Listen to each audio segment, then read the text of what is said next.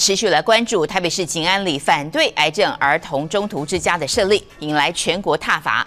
最让民众难以忍受的这段说法呢，就是他讲的“癌症不会传染是骗人的”。说出这句话的是当地的领长，他叫江万义。那么当时他接受中天新闻专访时，多次强调，他说癌症会传染，就算总统挂保证也不行。而这个言论引发了舆论围剿。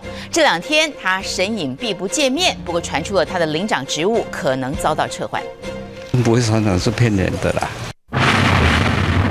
癌症不会传染是骗人的啦。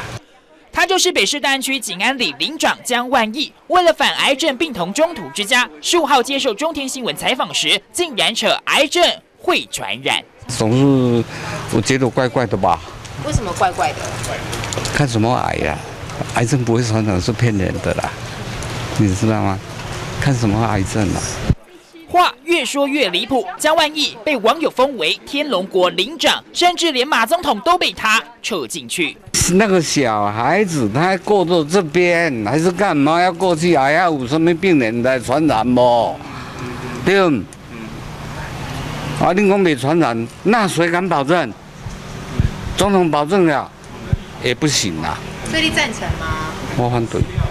坚决反对病童之家。江万义一提到癌症病童，还露出很不屑的态度，难怪范众怒。影响孩子的教育。什么教育？比如你是小学生啊，哎呀，经过那边要去上学啊，啊，你看，哎呀，癌症病患住那么多，我们不要从那边，不知道会不会传染。台大医生证实，小儿癌症不会传染。江万义的言论，难怪被认为是歧视癌症。天底下没人想生病，如果今天是自己亲人受苦，江万义不知道能不能感同身受。癌症不会传染是骗人的啦。